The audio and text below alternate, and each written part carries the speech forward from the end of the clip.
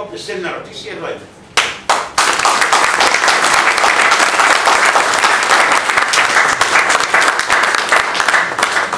Ναι, Ε, καλησπέρα. Ε, Γεια χαρά. Τάκης Κόικας λέγομαι. Οι επιφυλάξεις ποιες, σε ποιο τομέα τις βλέπετε; α, α, οκ. Ευχαριστώ. Οι επιφυλάξεις είναι στο εξής. Ότι για να κάνεις, να μπορείς να, να, να, να κρατήσεις μια συμπαθία, μια φιλία, δεν φτάνουν οι κυβερνήσεις. Χρειάζεται το λαό. Ο ελληνικός λαός δεν είναι έτοιμος να δεχτεί τον Ισραήλ. Για πολλούς λόγους. Για ποιους, Για πάρα πολλούς. Ορίστε. για ποιους λόγους. ρε; Για ποιους λόγους. Όταν ο αντισημιτισμός είναι 71% στην Ελλάδα. Ε, Είναι. Τραγικό. Τραγικότατο. Δεν ήθελα να το αναφέρω, αλλά μια και το έφερες. Ε, να τελειώσω. Και αμέσως θα έρθω σε σένα. Έχω δύο χέρια, αλλά όχι δύο στόματα. οπότε Κάνουμε λίγο, βοήθησε με λίγο. Ε, είναι πολύ απλό. Έχω έρευνες οι οποίες στο αρχείο μου από το 1986 έχω γράψει ένα άρθρο που έλαβε στο στάτη στο δικό μου το site, μπορεί να το βρει. Λέγεται Αντισημιτισμός 1986-2016. Είναι μία σειρά από έρευνες που έγιναν από ελληνικές εταιρείες ερευνών, από ξένες εταιρείες ερευνών, από την Pew Organization που θεωρείται η μεγαλύτερη στον κόσμο σε διάφορες έρευνες και από αμερικανοεβραϊκή ε, εταιρεία έρευνα. Όλες, μα όλες τα τελευταία 40 χρόνια, με μικροδιαφορές των 2%, 3% βγάζουν την Ελλάδα πρώτη στην Ευρώπη σαν αντισημιτισμό, δυστυχώς, γύρω στο 67 με 70, και αν αφαιρέσεις αραβικέ χώρες, είναι η μεγαλύτερη στον κόσμο. Δυστυχώς. Μετά τις αραβικές χώρες, αγάπη μου, μισό λεπτό τελειώσω, σε είδα. Ε, οπότε αυτό μπορεί να είναι το πρόβλημα. Ένα είναι αυτό, ότι μπορεί αυτός ο αντισημιτισμό, ο οποίος για λόγους που πραγματικά δεν καταλαβαίνει. Όλοι και όλοι οι Εβραίοι εδώ πέρα είναι 4.000. Και να θέλεις να τους να τους κάνεις κακό, πρέπει να τους βρεις στα 11 εκατομμύρια. Δεν βρίσκονται εύκολα. Εγώ θυμάμαι την κάθε φορά που έκανα διαλέξεις. Το πρώτο πράγμα που ρώταγα, και θα το ρωτήσω και εδώ πέρα τώρα, έτσι από πλάκα και μόνο, ποιος βλέπει για πρώτη φορά Εβραίο. Και σηκώνουν τα χέρια τους οι περισσότεροι; Και πραγματικά, και λέω καλά, φίλε, δεν έχει τίποτα στον Εβραίο στη ζωή σας. Πώς γιατί είστε τόσο εναντίον; Λοιπόν, αυτός είναι ο μόνος τρόπος που μπορεί να το. Εσύ. Να ρωτήσω κάτι. Έλα, έλα, βέβαια, αυτός Εγώ, σήκωσε Η χέρι. καταγωγή μου είναι από τα Γιάννη. Α, Εμείς έχουμε Εβραίους στα Γιάννη. Και από πώς έχουμε 70% αντισημιτισμό, εμείς στα Γιάννα είμαστε μια χαρά. Έχουμε και δήμαρχο, και δήμαρχο Εβραίο. Δήμαρχος τώρα, και- παιδιά, ω, ω, με Ναι, το η δήμαρχο, Εβρα- με τον η Έλληνα, εβραϊκή σε αυτό κοινότητα- φίλε. Η εβραϊκή κοινότητα Ναι, ναι, ναι. την έχουμε χρόνια από το Β' Παγκόσμιο Πόλεμο μπορώ να Και πω. πριν έγινε. Πώς έχουμε το 70% αντισηματισμό και πώς είναι 4.000. Ε, άκουσε. Παιδιά, ξέρω ότι κάθε φορά που τα λέω τα νούμερα αυτά, Πώς γίνεται από 4.000. θες να, να ακούσεις την απάντηση; Ναι, απο- απορία το έχω. Συγγνώμη που σας το λέω. αλλά Παρακαλώ. Πώς είναι Είναι 4.000. απορία που έχει πάρα πολλοί κόσμος.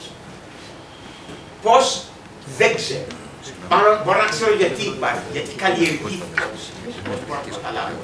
Αλλά γιατί υπάρχει τόσο υψηλό, δεν ξέρω.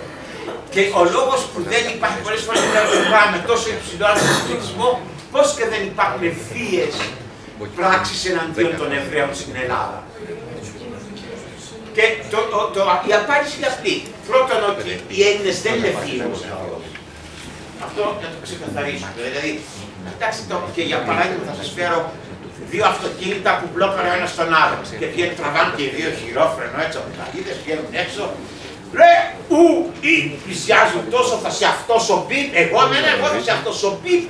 Άμα είσαι μάγκα, σήκωσε χέρι, άμα είσαι μάγκα, μη σηκώνει χέρι, φωνάζουν, μπαίνουν στα αυτοκίνητα, πάνε σπίτι τους και πει τη γυναίκα τους, τελείωσε. Δεν κάνουν τίποτα. Γιατί δεν είναι βίος λαός. Οπότε αυτός είναι ο ένας τρόπος που δεν, ε, δεν έχουμε τέτοια προβλήματα. Αλλά υπάρχουν και τα δεν δηλώσει νεκροταφείων, δόξα τω Θεώ, μη χαθούνε, υπάρχουν. Αλλά αυτό είναι μια μικρή, όντως, οι βίες αυτές είναι σχετικά μικροί. Αλλά δεν ξέρω γιατί. Εγώ ξέρω ένα πράγμα, ότι δεν είναι δυνατόν όλες αυτές οι έρευνες από διαφορετικές εταιρείες ερευνών να έχουν συνεννοηθεί παγκοσμίως μεταξύ τους για αυτό το πράγμα. Προφανώς υπάρχει. Δεν ξέρω γιατί. Κυρία μου. Ναι, Έχω μία ένσταση Παρακαλώ. προς το Εάν ή δεν θα συνεχιστεί εξαιτίας του αντισημιτισμού. Σε μια σχέση, νομίζω εγώ, οποιαδήποτε σχέση και να είναι αυτή, πρέπει το βούνα και λαβή να είναι ισορροπημένο. Εάν ο ένας δίνει πολύ και ο άλλος λίγο ή δεν ανοίγεται, δεν είναι ότι του αρέσει, η σχέση αυτή δεν είναι ισορροπημένη. Και με το Ισραήλ και ιδίως στις στρατιωτικές σχέσεις που είμαι σε θέση να γνωρίζω και ότι δουλεύω στο Υπουργείο Εθνικής Άμυνας κάνω διεθνείς σχέσεις, το τομέα που είναι η Μέση Ανατολή και το Ισραήλ. Και ήμουν σε όλα αυτά τα προηγούμενα που είπατε όταν μας είπαν για τη στρατηγική σχέση, τι πορείε που γράψαν, τις έφτιαξα εγώ κτλ. Ε, δεν δίνουν τα ίσα οι Ισραηλινοί. Είναι κουμπωμένοι. Δίνουν λίγο, το καρότο, παίρνουν όσα περισσότερα μπορούν από εμάς και εκεί τελειώνει. Για να μην μιλήσουμε και για τον τομέα των πληροφοριών. OK, okay, θέλετε απάντηση σε αυτό; Γιατί αν θέλετε πολύ, πολύ, πολύ διατηρητικό να σας δώσω. Θέλετε να, να απαντήσω; Δεν Α, εντάξει. Λοιπόν, ε, εάν μιλάτε για το ε, στρατιωτικό στέλος και για, το, για την μεταξύ κυβερνήσεων, αν ζητάτε, να σας πω κάτι. Όταν κάποτε μου ζήτησαν να ζητήσω από τις υπηρεσίες πληροφοριών του Ισραήλ να βοηθήσω τις υπηρεσίες πληροφοριών της Ελλάδας, και αυτό έγινε πριν από μερικά χρόνια, ξέρετε ποια ήταν αρκετά χρόνια ψέματα. Η απάντηση των Ισραηλινών ήταν, συγγνώμη, αυτοί αλλάζουν αρχηγό της ΣΥΡ κάθε τρεις και πέντε. Πώς θα τους εμπιστευτούμε; Πρώτον. Δεύτερον, αυτή είναι τάξη μυτσικότση με τους Παλαιστινίους και μάλλον τους φωνάζουν Ναζί. Πώς θα τους εμπιστευτούμε; Πρώτον αυτό. Οπότε μην είστε τόσο γρήγοροι στο να δείτε. Αλλά το θέμα αυτό είναι θέμα καθαρά ε, συνεννόησης και διαπραγμάτευσης. Δεν μπορώ να σας κάνω τίποτα εδώ μεταξύ των. Αν σας παίρνουν οι Ισραηλοί τόσο, σας δίνουν και παίρνουν τόσο, αυτό είναι θέμα ικανό, διαπραγματευτικής ικανότητας. Δεν ξέρω. Τώρα σου θέση πληροφοριών επίσης δεν γνωρίζω. Αλλά αν θέλετε να γυρίσω λίγο πιο πίσω και να πάω σε αυτό που τουλάχιστον έτσι κατάλαβα, μιλάτε για ε, λαό προς λαό, ότι εμείς αν είμαστε πιο ανοιχτοί, οι Ισραηλοί να είναι πιο ανοιχτοί, έχετε μεγάλο λάθος. Διότι... Α, μιλάτε μόνο... Αυτό είναι θέματα κυβερνήσεων. Κοιτάξτε, ούτε εγώ θα εμπιστευόμουν με κυβέρνηση Τσίπρα. Γιατί διότι όταν ξέρω ότι θα μου στείλει τη Σαποράφα στην, στην ε, Ευρωβουλή, η οποία θα βγάλει ψήφισμα υπέρ των Παλαιστινίων, τι να σε εμπιστευτώ. Συγγνώμη δηλαδή, οι άλλοι τι είναι που το έχουν, το τρώνε. Εντάξει, δεν έχουν το IQ της Σαποράφα, εντάξει. Αλλά εν πάση περιπτώσει δεν είναι και τελείω ηλίθιοι Ισραηλοί. Ποιος άλλος ήθελε να μιλήσει, παρακαλώ. Σας ακούω, κύριε. Κοιτάξτε, οι αιτίες του αντισημιτισμού ναι. είναι βαθιές δυστυχώς στην Ελλάδα. Αχα. Εγώ θυμάμαι, δεν προέρχονται, γεννήθηκα Αθήνα, δεν μεγάλωσα στην Αθήνα, στην επαρχία. Κάθε Μεγάλη Πέμπτη έσπαζαν τα τζάμια της συναγωγής. Μεγάλωσα δίπλα στη συναγωγή, πρώτα πήγαινα στη συναγωγή και μετά πήγαινα στην... Για να μην τους φάνε τα παιδιά το κάνουν οι Εβραίοι το με τα παιδάκια, το αίμα. λοιπόν, και τούτο γιατί, διότι πιστεύω βαθιά πια και το έχω γράψει πολλές φορές ότι μέσα στην Εκκλησία διαιωνίζεται ένας κακοήθης αντισημιτισμός. Δεν είναι να υπερασπιστώ τη δική μου πίστη, είναι να στραφώ με χιδεότητα εναντίον του Εβραϊσμού. Δεν μπορούμε να παραδεχτούμε ότι οι ρίζες μας είναι στην Τωρά. Αφού είναι οι πατριάρχες, αφού είναι οι πατριάρχες, έχουν μπει στην ζωή μας, αφού ο ελληνισμός διασώθηκε από την αγκαλιά του Εβραϊσμού, ε, στην αγκαλιά του Εβραϊσμού δεν θα υπήρχε, στην Αλεξάνδρεια έγινε, έτσι, ακόμα, ακόμα συμπεριφερόμαστε ως σέχτα αντιεβραϊκή. Δεν έχουν συμφιλειωθεί και δυστυχώς δεν έχουν απαλληθεί. Ένα παράδειγμα απλό, πάρτε την υμνολογία της Μεγάλης Εβδομάδας, τη Μεγάλη Πέμπτη, δεν έχουν φύγει από την υμνολογία αυτά τα κακοήθικα κοινώματα που... Ναι, αλλά ε, για να είμαστε και... Να πάτε στη Θεσσαλονίκη. Για να είμαστε δίκαιοι τελείως, ο Εβραϊσμός ποτέ δεν υπέφερε από την ελληνική Ορθόδοξη Εκκλησία όπως όπως υπέφεραν οι Εβραίοι από τους Καθολικούς και από τους Προτεστάντες και τα αυτά. Για να είμαστε δίκαιοι. Ποτέ δεν υπήρχαν. Υπήρχαν διάφορα αυτά, υπήρχαν ξέρω εγώ τι, αλλά ποτέ δεν υπέφεραν αυτά. Ναι. Ε, Κοιτάξτε, νομίζω ότι πρέπει να γίνει- είμαστε λίγο πραγματιστές. Αυτό που είπατε, Ε, παρακαλώ. συμφωνώ σε σε μεγαλύτερο σημείο, ε, στο εύρο αυτό που είπατε, αλλά επειδή δραστηριοποιούμε και στο ελληνοαμερικάνικο και στο ελληνοϊσραηλινό επιμελητήριο, χωρίς να είναι ε, το σύστημα μου να είναι βεβαίω. Λίγο πιο δυνατά να σας Το δυνατά. Λοιπόν, πρέπει να είμαστε λίγο πραγματιστές. Οκ. Εντάξει. Αυτά είναι αυτά που υπάρχουν. Οπωσδήποτε είναι, όπως είπατε, είναι τα συμφέροντα των χωρών τα οποία είναι πάνω απ' όλα. Ε, το ερώτημα για μένα ε, ε, φυσικά έχει να κάνει ότι τι μπορεί να κάνει το Ισραήλ να αλλάξει στάση και να πάει με, το, με την Τουρκία. Ε, γιατί φαντάζομαι και εκεί ο αντισημιτισμός δεν είναι πολύ ψηλό, ε, χαμηλός, ήταν και αυτός ψηλότερος ίσως και από την Ελλάδα. Αυτό που όμως θα πρέπει να δούμε εμείς σαν Ισραήλ και Ελλάδα είναι ότι αυτή η στρατηγική σχέση ήρθε εδώ για να μείνει. Για, πολλές, για πολλές δεκαετίες η γείτονα χώρα είναι σε μεγάλο αναβρασμό και ενδεχομένως είναι ε, πηγή αστάθειας για όλη την περιοχή και έχουμε κοινά συμφε- συμφέροντα αυτή την περίοδο και θα πρέπει να σφυλατήσουμε και να μειώσουμε αυτά τα θέματα που ενδεχομένως υπάρχουν και να έχουν εκτιστεί επί, επί δεκαετίες, επί, ίσως και επί αιώνες. Εντάξει. Αλλά αυτό που θέλω να ρωτήσω εσάς είναι εσείς που το βλέπετε επικοδομητικά και εμείς που το βλέπουμε επικοδομητικά, γιατί όλοι θέλουμε αυτό που συζητάμε τώρα να σφυριλατηθεί. Ή είσαστε μέρος της άμυνας της ελληνικής και στηρίζουμε και εμείς το Ισραήλ. Δηλαδή έχουμε αμοιβαία συμφέροντα. Τι, πρέπει να, τι μπορεί να αλλάξει τη στάση του Ισραήλ και να πει ότι, ξέρετε, η Τουρκία είναι πιο συμφέρουσα σύμμαχο. Και να πάμε. Γιατί, Εγώ, να σας γιατί πω. καταλαβαίνετε, αυτά Να έχουν να σας κάνουν. πω. Ε, καταρχήν, όταν η Ελλάδα αναγνώρισε το Ισραήλ επί Μητσοτάκη, οι σχέσεις της Ελλάδας με τις αραβικές χώρες ήταν perfect, τέλειες.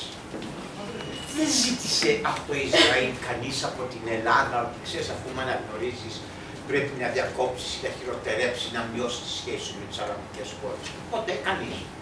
Φαντάζομαι λοιπόν ότι εάν κάποια στιγμή οι σχέσεις μεταξύ Τουρκίας και Ισραήλ καλυτερεύσουν, που αμφιβάλλω, αλλά ας το πάρουμε σαν ένα σενάριο, για να μην μας πούν ότι, για να μην πούμε ποτέ αυτό που ένας στρατηγός μπορεί να πει και το σκοτώνουμε στρατηγέ μου, δεν το περίμενα, γιατί άμα το πεις σε σφάξανε. Λοιπόν, ας πούμε ότι υπάρχει κάποια τέτοια περίπτωση. Δεν κατάλαβα, δηλαδή γιατί δεν μπορεί το Ισραήλ να έχει καλές σχέσεις με την Τουρκία και να έχει και καλές σχέσεις με την Ελλάδα. Η Ελλάδα το βλέπει αυτό επειδή φοβάται την Τουρκία, επειδή είναι arch enemy, είναι ο α- αρχικός της εχθρός. Αλλά α- ας πούμε ότι αυτό την απάντηση αυτή θα ήθελα να ξέρω, γιατί δεν μπορεί. Αλλά δεν είναι αυτό. Εγώ πιστεύω ότι τουλάχιστον για μια εικοσαετία μέχρι που ε, να τεινάξω εγώ, δεν νομίζω ότι η Τουρκία θα μπορέσει. Γιατί χαμογελάς γυναίκα μόλις είπα να τεινάξω εγώ; λοιπόν, ε, δεν νομίζω ότι ε, θα μπορούν να επιστρέψουν οι σχέσεις στα όνομα. Δηλαδή ακόμα και αν πέσει ο Ερντογάν, ακόμα και αν ξαναγίνει το ε, καμ, κα, ε, του, καμ, ε, του ε, ε, καμε- κεμαλικό Μόλις σε βλέπω γιατί παθαίνω. Λοιπόν, κεμαλικό κράτος δεν νομίζω ότι θα, το Ισραήλ θα, θα, θα, θα το εμπιστευτεί. Ένας λόγος είναι για το East Med, παραδείγματος χάρη, είναι αυτός ο λόγος. Σκεφτείτε ότι περνάει ο αγωγός από την Τουρκία, που είναι πολύ πολύ πιο φθηνός από το να περάσει από την Ελλάδα. Και κάποια στιγμή σηκώνεται ο, ο, ο, ο Ερντογάν ή ο επάστο του Ερντογάν και λέει στο Ισραήλ συγκυμέ, η ασυχτήρ, και σβήνει τη, τη βρύση. Τι θα κάνει το Ισραήλ, το φυσικό αεροτοπί, θα το φάει, θα το αναπνεύσει. Είναι πολύ. Δηλαδή αυτό πιστεύω ότι όσο και να καλυτερεύσουν πια οι σχέσεις μετά από αυτό το, το, το, το, το, το, το, σπάσιμο των σχέσεων που έφτασε σε τέτοιο επίπεδο δύσκολα Άρα θα πρέπει να εργαστούμε όλα αυτά που λέμε πρέπει να μην... να εργαστούν οι δύο πλευρές και όχι τόσο πολύ επαναλαμβάνω. Όχι μεταξύ κρατών, και ας λέει η κυρία εκεί πέρα ότι οι Ισραηλοί είναι λίγο, οι Έλληνες είναι πολλά και οι Ισραηλοί λίγο. Δεν μιλάω για αυτό, αυτό είναι θέμα διαπραγματεύσεων και δεν με αφορά. Αλλά ε, οι λαοί μεταξύ τους πρέπει να μπορέσουν να έρθουν σε μια δηλαδή είναι αυτό που λέω και για τους Άραβες. Ότι αν υπήρχε το, αν γινόταν η ειρήνη με το Παλαιστίνιο, υπήρχε Παλαιστινιακό κράτος, τα υπόλοιπα θα τα έπαιρνε η δυναμική της ειρήνης. Δηλαδή σιγά σιγά και κάποια στιγμή θα φώναζε ο Μπαχμούτ τον Αβραάμ, θα πηγαίνουν να πιούν ένα καφέ και θα ήταν πιο λάσκα τα πράγματα. Σε δύο γενιές, μία γενιά θα, είχαν, θα υπήρχε ομαλοποίηση. Το ίδιο και εδώ. Εάν μπορούμε οι δύο αυτοί λαοί να καταλάβουν ότι είναι το ίδιο στην ουσία, τότε θα είναι πολύ πιο εύκολο το... Ναι, ε, καλησπέρα καταρχάς σε όλους. Ε, είμαι ο Μιχαήλ Φεζούδης, ο πρόεδρος του τμήματος Αρχαίας στη Θεσσαλονίκης. Ε, εκεί επάνω έχουμε μια πολύ μεγάλη Ισραηλινή κοινότητα και μάλιστα πρόσφατα. Ισραηλινή; Βεβαίως. Δεν έχετε καμπραϊκή. Εβραϊκή. Έχετε Ισραηλιτική ή έχετε Εβραϊκή. Ισραηλινή δεν έχετε. Και αν δεν ξέρετε τη διαφορά, η Ισραηλινή είναι οποιοδήποτε είναι υπήκος του κράτους του Ισραήλ, που μπορεί να είναι μουσουλμάνος, βουδιστής, βαθμιστής, ορθόδοξος, στάντης και ό,τι άλλο θέλετε, άθεος, αναρχοβασιλοχούντο κομμουνιστής, αφού είναι όμως στο Ισραήλ, έχει την υπηκότητα του Ισραήλ, είναι Ισραηλινός. Όποιοι είναι οι Εβραίοι που ζουν εκτός Ισραήλ, είναι οι Ισραηλίτες, οι Εβραίοι. Your pick. Διαβέλεξε όποιο θέλετε. Είναι αμοιβαίο. Δεν ξέρω τι ακριβώς είναι η άνθρωπο, αλλά κάναμε μια πρόσφατη συνάντηση μαζί του. Υπάρχουν 1600 άτομα επάνω. Με Εβραίους, μην Ναι, ναι. τρέπεστε. Όχι, Κάνατε όχι, κάνατε ένα όχι, λαφάκι. όχι, όχι, όχι. Και αυτό Δεν- που Λέτε δεν προφανώς ξέρω ποιοι τι είναι οι άνθρωποι. Υπάρχει Είπα μια μόλις άριστη τώρα. συνεργασία Είναι επάνω. Εβραίοι. Ναι. Υπάρχει μια άριστη Κανένα συνεργασία. αμφιβάλλω, τι θέλετε, στο στο ξηρό. Απέναντίας μάλιστα. Γιατί να μην υπάρχει, αυτό λέμε. Ότι πρέπει να υπάρχει άριστη συνεργασία. Δηλαδή μου το λέτε, καταλαβαίνετε τι αυτό γίνεται. το αυτές Και ο άλλος τις εδώ φορές. πέρα ο νεαρός, το ίδιο πράγμα. Στα Γιάννενα εμείς, ρε παιδιά, αυτό είναι το φυσικό, τι μου το λέτε. Μου το λέτε σαν να είναι κάτι το έχω άριστη συνεργασία με τους Εβραίους. Γιατί να μην έχετε, δεν κατάλαβα. Λέγε, ποιος, α, εσείς παρακαλώ. που συνεργαζόμαι, πρώτο αρχαίο της Απορτουάν, να κάνω να ρωτήσω το εξής. Οκ, λέτε τώρα ότι έχουμε όλη την ιστορία, εδώ που φτάσαμε. Το θέμα είναι από εδώ και πέρα είναι ότι οι πολίτες των δύο χωρών πρέπει να δράσουν ανεξάρτητα από το κράτος. Ναι, Οκ. Αυτό είναι πάρα πολύ δύσκολο να γίνει. γιατί; Και να σας πω το γιατί. Γιατί και τα δύο κράτη, και ειδικά το Ισραήλ, Ναι. είναι ένα ισχυρό κράτος λόγω όλων των συνθηκών που έχει περάσει, Ναι. όπως και εμείς, Ναι, αν τα κράτη μας, οι κυβερνήσεις μας, Ναι. δεν βάλουν τις δομές. έχουν βγάλει τις δομές. Καταρχήν πρέπει να μιλήσουμε, ε, να ρωτήσουμε εμείς τι μπορούμε να πάρουμε από το Ισραήλ και το Ισραήλ τι μπορεί να πάρει από εμάς για να μπορέσουμε να έρθουμε, να έρθουμε σε μια επαφή. Εμείς λοιπόν από το Ισραήλ μπορούμε να πάρουμε την τεχνογνωσία. Μπορούμε να πάρουμε την, στην εκπαίδευση. Γνωρίζουμε ότι στο Ισραήλ υπάρχουν πανεπιστήμια πολύ ε, επίπεδου του MIT που μπορούμε να τα φέρουμε στην Ελλάδα. Μπορούμε δηλαδή να ξεκινήσουμε από την εκπαίδευση Παιδεία. την παιδεία μας για να μπορέσουμε να φτάσουμε στο αποτέλεσμα να σιγά σιγά ο αντισημιτισμός να πέσει. Αυτό δηλαδή κάποιες προτάσεις που πρέπει να τις κάνουμε και εσείς και οι Ισραηλοί προς εμάς και εμείς προς αλλά Όταν προς λέτε τις εσείς, κυβερνήσεις τι μας. εννοείτε; Εσείς. Α, Ναι. Και Πρέπει δηλαδή οι κυβερνήσεις μας να πάρουν αυτές τις αποφάσεις. Οκ. Δεν μπορούμε τώρα εμείς από μόνοι και να θέλουμε και έχουμε μια καλή επαφή. Αλλά Λοιπόν, οι κυβερνήσεις, κατάλαβα. Οι Ευχαριστώ. κυβερνήσεις λοιπόν έχουν την επαφή την πρώτη. Εντάξει, και όχι μόνο πρώτη, και αρκετά στενή επαφή. Τώρα μου είπατε ότι πρέπει πρώτα λέει ε, να δούμε τι μπορεί να πάρει ένας από τον άλλον. Σωστά. Αλλά εάν, συγγνώμη, εάν δεν πας να συστηθεί στον άλλον και σκέφτεται να ονομάζομαι έτσι και έτσι, τι να σου πω; Να μου πάρεις και να σου δώσω τι; Θέλω να πω δηλαδή ότι δεν υπάρχει λόγος οι δύο λαοί αυτοί να μην είναι ως λαοί να μην είναι δεμένοι. Δηλαδή, αν πάτε ποτέ στο Ισραήλ, δεν ξέρω ποιοι από σας έχετε πάει, εντάξει, και πείτε σε ταξί, νομίζω ότι βρίσκεσαι στην Ταχανόν, ε, με τον Μιτσάρα να πούμε, α, και τον Καζατζίδη και να σου βρίσκομαι ρε παιδιά, από ένα βίλιμι ή στα, στα πετράλανα και πάμε που θυμίζει τον Χάρη Κρήτο. Και γλυκερία. Και, και ξέρετε, δεν είναι, ε, Και γλυκερία. Και γλυκερία. Καλά, η ευκαιρία είναι θεά. Στην δεκαετία του 80 ήταν η ελπίδα θεά. Ε, αυτά. λοιπόν, δεν έχει το, το, η- το, τουρισμό στην Ελλάδα.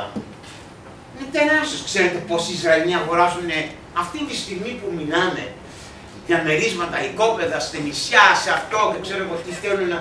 Οι Ισραηλοί δεν έχουν πρόβλημα με την Ελλάδα. Η Ελλάδα έχει πρόβλημα με τους Ισραηλούς. Αυτό είναι το πρόβλημα. Και δεν καταλαβαίνουμε γιατί.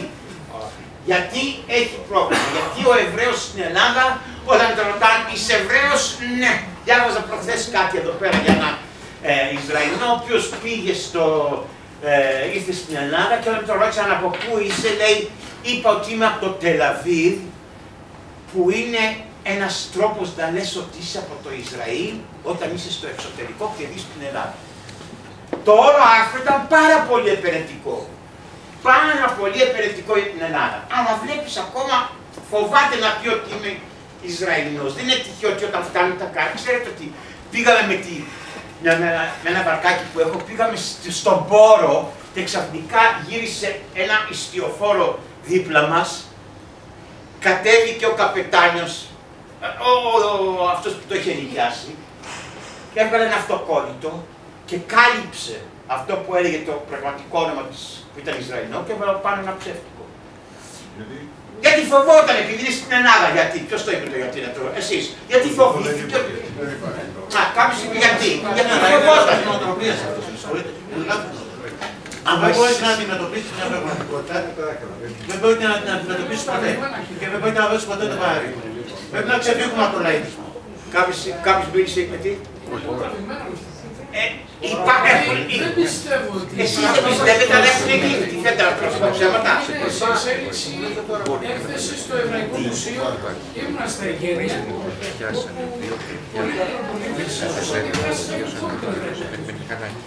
Πολύ και όπως είπε ο πρόεδρος. Πολλοί Μητροπολίτες. Νομίζω ότι το είπα οι Μητροπολίτες. Μήπως δεν ήσασταν εδώ; Ε, τότε πώς το λέτε τώρα;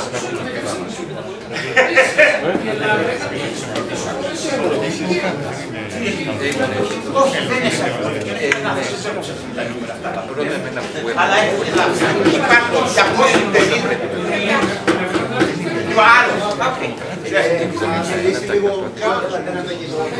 Κατά την άποψη του η Εκκλησία και η διαπαιδαγώγηση στα σχολεία. Με λένε Ιωνάθα. Είμαι πολύ δραστήριος στο διαδίκτυο. Τουλάχιστον δύο φορές την ημέρα παίρνω μηνύματα.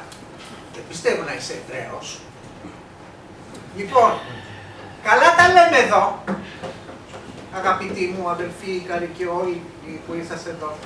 Και έλατε πάμε σε λε- συνοικίες της Αθήνας ή μέσα στη Βουλή και να πούμε ότι είμαστε αναφανδόν υπέρ του Ισραήλ. Ή θα γελάνε μαζί μας ή θα φάμε καρπαζά. Λοιπόν, τα, τα, τα χέρια των ήλων. Έχεις απόλυτο δίκιο. Έχουν απόλυτο δίκιο και φοβούνται οι Ισραηλοί στην Ελλάδα. Διότι και, τα, και οι κομμουνιστές και οι Ταλιμπάν της Ορθοδοξίας και οι κομμουνιστές και οι Ταλιμπάν της Ορθοδοξίας σπέρνουν τη διχόνοια μεταξύ των δύο λαών. Τι κοροϊδευόμαστε. Ο αντισημιτισμός είναι εδώ, ο ναζισμός είναι εδώ και πάνε χέρι-χέρι παρέιτσα. Υπάρχει ο κόκκινος ναζισμός και ο μαύρος ναζισμός. Και οι Εβραίοι της Ελλάδος τον ζουνε καθημερινά. Καθημερινά τον ζουνε και σήμερα. Μην ακούω το αντίθετο. Θέλω όλους εσάς εδώ, εγώ, εάν, δεν, πάρτε μια ελληνική και μια εβραϊκή σημαία και πάμε να κάνουμε μια πορεία τώρα προς τη Βουλή. Θα φάμε Θα φάμε το ξύλο της αρκούδας. Τι μου λέτε ότι υπάρχει φιλία μεταξύ Ελλάδας και Ισραήλ; Είμαι ο εκπρόσωπος του Ρεπουμπλικάνικου Κόμματος και έχω φρίξει με τις ιστορίες του. Με κροτσές ο Τσίπρας αναγκάστηκε να κάνει την τριμερή. Με κροτσές. Και με φοβερές πιέσεις.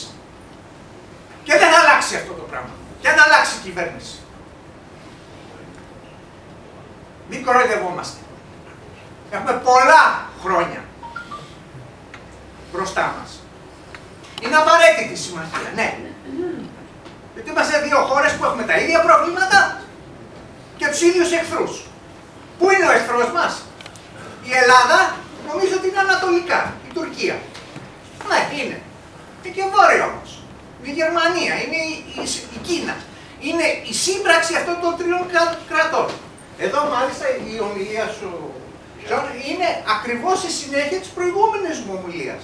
Που μιλήσαμε για το τέρας που εξετράφη στην ε, Ευρώπη, ένα τέρας που είχε ένα προσωπείο του ναζισμού με τα SS και τώρα ήρθε ως οικονομικός ναζισμός. Ένας ναζισμός που έχει δύο στόχους. Έχει το Ισραήλ και την Ελλάδα. Αν αυτές οι δύο χώρες δεν έχουν το, τη στοιχειώδη εξυπνάδα να μπουν, όχι.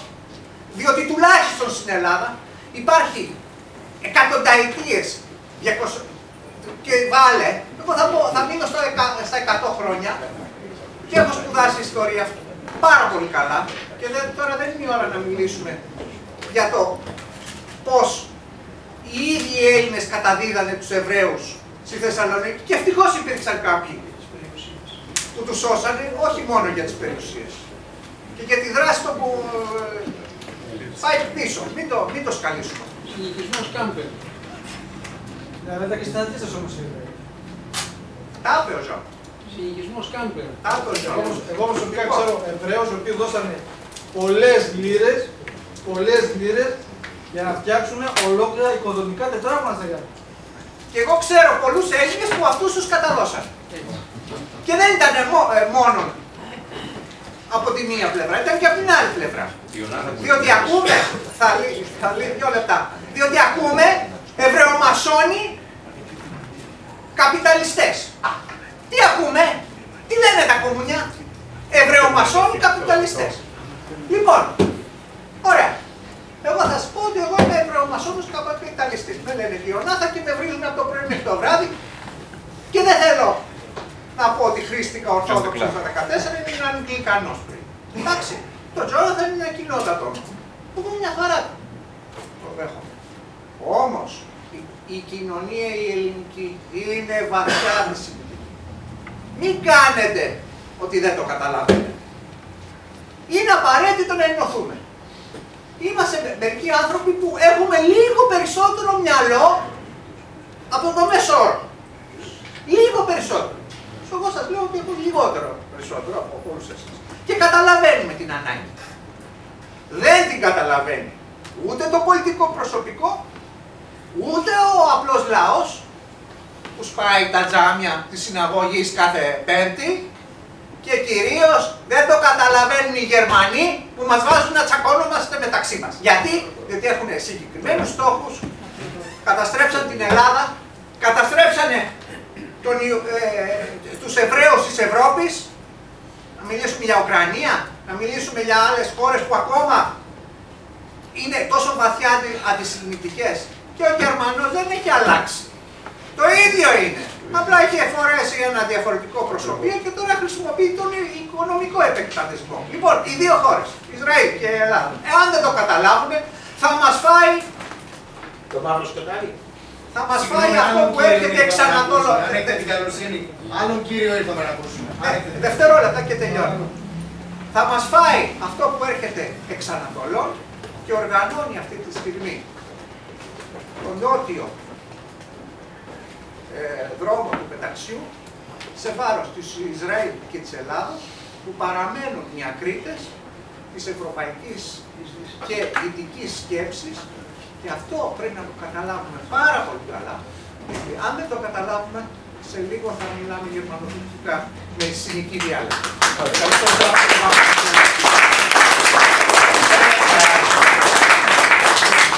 Ε, θα ήθελα να πω εδώ στον αγαπητό μου κύριο. Να σας δώσω ένα παράδειγμα. Ε, να δώσω ένα παράδειγμα. Ο γαμπρός μου είναι καθηγητής πανεπιστημίου, διδάσκει ηθ- ηθική της φιλοσοφίας. Ε, τώρα πια δεν διδάσκει, είναι μεγάλος. Ε, κάποιες, είναι πάρα πολύ πολιτικοποιημένος. Ένα λοιπόν συζητάμε με τις εκλογές στο Ισραήλ. Ο είπε, ξέρεις, αυτό, εκείνο, τώρα, Ιούντα, δεν είναι αυτό. Νομίζεις ότι εσύ είσαι σε ένα κοκκούν που δεν... Λέω, Ποιοι είναι οι φίλοι σου, ρε Ιούντα. Ο τάδε, ο τάδε, ο τάδε και ο τάδε και ο τάδε. Σωστά. Ε, και τους έχεις για λίγους, που λέει αυτούς. Αυτοί έχουν λέει ντοκτορά, αυτό, εκείνο. Ακριβώς αυτό λέω ρε Γιλιά. Πού ήταν η τελευταία φορά που μίλησε με έναν υδραυλικό που ήρθε από τη Συρία Εβραίο. Ή με έναν ηλεκτρολόγο. Ή με έναν ξέρω εγώ τι απλό εργάτη. Και δεν έχω μιλήσει. Ε, κότε τι μου μιλάς για πολιτική, αυτή είναι που μετράει. Εσείς είστε σε έναν κοπού, σε μια αυτή που είναι, σας φαίνεται περίεργο. Κατεβείτε κάτω, στο πιο απλό κόσμο. Αυτό που λέω και για σένα φίλε. Εκεί θα δεις τι γίνεται. Εγώ αυτή τη στιγμή δουλεύω σε ένα γραφείο, δεν έχει σημασία τι και πώς. Η γραμματέα του αφεντικού είναι μια κοπέλα από το Αγρίνιο που τελείωσε, τελείωσε και το Λύκειο. Λοιπόν, μια μέρα κάναμε πλάκα στο γραφείο και κάποιος βρήκε στο, στο, πώς το λένε, στο, στο ίντερνετ 13 λόγοι που ο Χριστός είναι Έλληνας. Προφανώς οι περισσότεροι το έχετε ακούσει, έτσι. Νόμιζε ότι η μαμά του είναι Παρθένη, η μαμά νόμιζε ότι ήταν αυτό, δούλευε από τη δουλειά του πατέρα του, αυτό το ωραίο το πράγμα. Και γελάγαμε. Και γύρισε και μου έκανε μία επίθεση. Άνευ προηγουμένου, εμένα, όχι τους άλλους. Και τρελάθηκα. Κοπέλα είναι μια αγράμματη από το αγρίνιο. Κατέβα κάτω εκεί. Εκεί είναι ο αντισημιτισμός. Δεν είναι σε εσάς. Δεν είναι σε αυτού που είναι στο MI, που έχουν masters και doctorate και ξέρω εγώ τι. Να το βάλω εδώ. Είναι ελάχιστοι εκεί πέρα. Εκεί είναι ο αντισημιτισμό. Είναι αυτοί που ψηφίσαν το Βελόπουλο γιατί αγοράσαν τα, τα γράμματα του Χριστού. Είναι αυτοί που ψηφίζουν στην αριστερά διότι το Ισραήλ είναι, πώς το λένε, αυτός αγοράς όμω. Δεν είναι πάνω στην, στο επίπεδο του, του, Κύριε καθηγητά, να μην σας κόψω το. Μία ερώτηση με δύο σκέλη και μία συμπλήρωση, μάλλον απάντηση σε ένα ερώτημα που άκουσα για τον αντισημιτισμό. Καθιερώθηκε πάρα πολύ ως επίσημη γραμμή μετά το 1974, όπου επιλέξαμε να απομονώσουμε το θέμα της Κύπρου, της εισβολής και να το εστιάσουμε στο Henry Kissinger και στο administration Nixon και να επικεντρώσουμε εκεί. Εγώ ήμουν πάρα πολύ μικρός ενό έτου τότε όταν έγινε εισβολή, άρα το έχω ακούσει από Ελληνοαμερικανούς και Έλληνες εδώ. Εκεί γιγαντώθηκε και βεβαίω στη δεκαετία του 80, κυρίω τα πρώτα χρόνια επί Ανδρέα Παπανδρέου. Ναι. Αυτό είναι ως απάντηση μερική, γιατί μπορούμε να μιλάμε τις ώρες. Ναι, ναι, ναι. Τώρα η ερώτηση έχει δύο σκέλη. Η πρώτη, επειδή βλέπουμε το administration Trump προχώρησε στην αναγνώριση της Ιερουσαλήμ ναι. ως πρωτεύουσα του Ισραήλ. Ναι. Παρά την πλήρη αποστασιοποίηση της Ευρωπαϊκής Ενώσεως. Ναι. Βλέπετε ή έχετε κάποια πληροφόρηση ότι η Ελλάδα στο προβλεπόμενο μέλλον θα ακολουθήσει την ίδια γραμμή. Αυτό είναι το πρώτο σκέλο. Okay. Γιατί είναι μια τεράστια αλλαγή σε του τύπου Και το δεύτερο, ο Έρντογαν, όπως λέω πάντα στο αττικέ σχολεία, δεν ξέρουμε το όνομά του. Σχολιάζουμε κάποιον που δεν ξέρουμε πώς λέγεται. Εγώ λέμε Νετανιάχου. Είναι Νετανιάχου. Είναι Έρντογαν. Είναι τουρκικά της Ανατολίας. Μία από τις 35 διαλέκτους που έχει η Τουρκία. Λέγει. Δεν έχει μία. Λοιπόν, ο Έρντογαν στο τρίγωνο με τη Σαουδική Αραβία και το Ιράν. Mm. Αυτή τη στιγμή προς τα που κλείνει και αν σκεφτούμε τη συνδιάσκεψη της Μόσχας την πρόσφατη, όπου είχαμε μεταξύ Ιράν, Ρωσίας και Τουρκίας. Okay. Λοιπόν, ε, εάν η Ελλάδα αναγνωρίσει τα επόμενα δύο χρόνια την Ιερουσαλήμ ως την πρωτεύουσα του Ισραήλ, Απλώς εσείς πρέπει να μου πείτε σε ποιο δρόμο θέλετε να βγω γυμνός να χορεύω. Τίποτα άλλο. Τα δύο. Μαζί σου δεν υπάρχει περίπτωση. Εγώ το ερώτημα είναι θα κάνετε εσείς, αλλά δεν το κάνετε. Για τα αεροπλάνα. Λοιπόν, Για τις αεροπορικές. δεν υπάρχει περίπτωση. Ε, για πολλούς λόγους δεν υπάρχει περίπτωση. Ε, δεν είναι ακόμα τόσο ισχυρή, όχι μόνο η, η σχέσεις, αλλά και γενικώ η Ελλάδα δεν αισθάνεται ακόμα πολύ ισχυρή για να μπορέσει να κάνει μια δική της γραμμή ε, εξωτερικής πολιτικής. Αυτό είναι το ένα. Δεν είναι... Θα σας δώσω ένα παράδειγμα. Το 1967 68, μόλις έχω βγει από το στρατό, με πλησιάζει κάποιος και μου λέει, κούσε, πες στους δικούς σου, ε, ότι θέλουμε να αναγνωρίσει το Ισραήλ, η Χούντα θέλει να αναγνωρίσει το Ισραήλ de jure.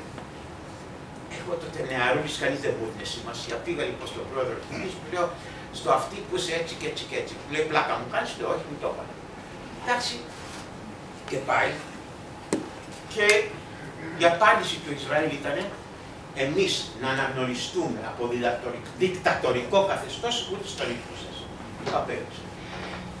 Η Ελλάδα δεν είναι ακόμα τόσο ισχυρή για να απορρίψει και οικονομικά και ε, σαν πολιτική δύναμη. Και έχει αρκετά προβλήματα. Και ξέρετε κάτι, κύριε καθηγητά, το τελευταίο που θα προσωπικά σαν Ζαν Κοέν, που 40 χρόνια πολεμά να τους φέρει τους δύο μαζί, πραγματικά το τελευταίο που με ενδιαφέρει είναι αν θα αναγνωρίσει τα αεροσόλυμα ή όχι από μόνη η Ελλάδα. Δεν είναι αυτό το πρόβλημα μας. Το δεύτερο ήταν, οπότε δεν νομίζω πάντως. Το δεύτερο ήταν για πού κλείνει τώρα η Τουρκία. Να σας πω κάτι, οποιαδήποτε απάντηση και να δώσω τώρα θα είναι πρώιμη για έναν πολύ απλό λόγο. Τον Ιούνιο ο Νετανιάου κάλεσε σε σύσκεψη Πούτιν και Τραμπ στην Ιερουσαλήμ για να μιλήσουν για την ασφάλεια της Μέσης Ανατολής που θα είναι μέσα το θέμα της Ιεμένης που είναι η Σαουδική Αραβία, που θα είναι το θέμα του Ιράκ, που θα είναι το θέμα του Παλαιστινιακό. Εγώ όταν το άκουσα, ε, επειδή οι περισσότεροι, τουλάχιστον οι Εβραίοι γνωρίζουν ότι είμαι εναντίον του Νετανιάου με τα μπούνια, ε, όταν το άκουσα τρελάθηκα. Λέω πράγμα. Ένα πράγμα που πρέπει να το αναγνωρίσει του Νετανιάου, στη διαδικαστική πολιτική τα πάει καλά. Δεν υπάρχει καμία πολύ καλά. Οπότε δεν ξέρω τι θα βγάλει αυτή η, η σύσκεψη, η συνεδρία αυτή, το Σάββατο αυτό, το συγκέντρωση αυτή. Αυτή τη στιγμή η Τουρκία σαφώς και είναι εναντίον του Ιράν, γιατί θέλει αυτή να πάρει τα ενία. Αλλά δεν ασχολείται με τη Σαουδική Αραβία, αυτό και δεν έχει μπλεχτεί και στην Ελλάδα, σου λέει καλά τι θέλεις εσύ. Γιατί το Ιράν και η Σαουδική Αραβία είναι εμπλεκμένοι μέσα στην Ιεμένη και χτυπιούνται μεταξύ τους. Οπότε μια χαρά η Τουρκία σου λέει κάνω του παγωθείτε και όταν με το καλό τελειώσετε μου λέτε ποιου ζήσαμε. Okay. Στρατηγέ, συγγνώμη, αλλά να μιλήσουμε. Ήθελα να σας ρωτήσω, αν θυμηθούμε λίγο και το Θουκυδίδη για το ίδιο συμφέρον, ε, επηρεάσουν ή μπορούν να επηρεάσουν οι ΗΠΑ και η Ευρωπαϊκή Ένωση ε, στην ανάπτυξη των σχέσεων στο μέγιστο βαθμό της Ελλάδος και του Ισραήλ; Και αν μπορεί να αποτελέσει τροχοπέδι, αυτό και σε ποιο; Βαθμό. Κανένα. Κανένα.